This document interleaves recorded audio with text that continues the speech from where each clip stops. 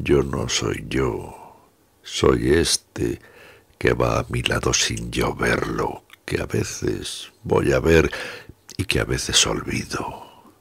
El que calla sereno cuando hablo, el que perdona dulce cuando odio, el que pasea por donde no estoy, el que quedará en pie cuando yo muera.